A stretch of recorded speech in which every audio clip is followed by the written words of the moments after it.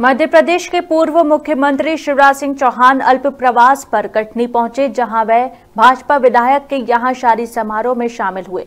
वहीं पूर्व सीएम शिवराज सिंह चौहान ने स्टेशन जाते समय चाय की दुकान पर चाय पी। इस दौरान कई लोगों ने उनसे मुलाकात की। कटनी से संवाददाता ज़ाहिर हुसैन सिद्दीकी की रिपोर्ट।